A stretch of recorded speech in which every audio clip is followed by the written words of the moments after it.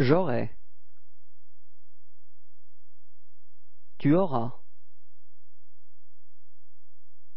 Il aura. Elle aura. Nous aurons. Vous aurez. Ils auront. Elles auront.